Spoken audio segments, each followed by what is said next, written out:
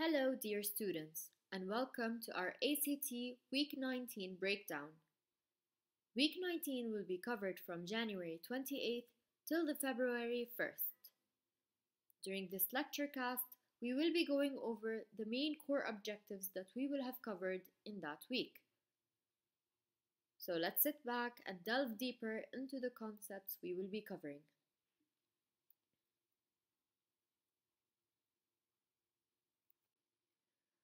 During the first day of that week, we will be going over half redox reactions. We will be able to outline the oxidation number of reactants and products to be able to determine which reactant has been oxidized and which has been reduced. We will be able to write the half redox reactions for the oxidation and half redox reactions for the reduction we will be able to outline the number of electrons lost and gained, and finally assign the overall redox reactions by balancing both equations. On Monday, we will be covering the concept of the Daniell voltaic cell.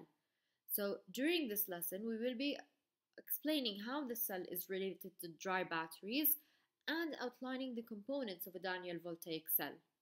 We will be outlining the difference between an anode and a cathode and determining what makes the voltage higher during constituents of a Daniell voltaic cell. On Tuesday, we will be having an A3 exam revision, so I will be assigning a worksheet that should cover all the important concepts you need to have reviewed before your assessment. So please make sure you cover those concepts very thoroughly and study all the core objectives. On Wednesday, we will take our A3 exam. Please make sure to go over the worksheet that we will have covered one day previous from that. And finally, we will have on Thursday an A3 exam reflection. The purpose of this reflection is to use the key answer that I will have provided along with your grades to reflect on your level. Please make sure to go over all the core objectives before the assessment as we need to excel in this exam.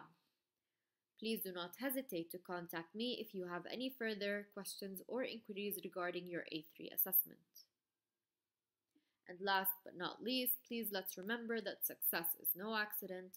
It is hard work, perseverance, learning, studying, sacrifice, and most of all, love of what you are doing or learning to do. Thank you very much and have a lovely day, everybody.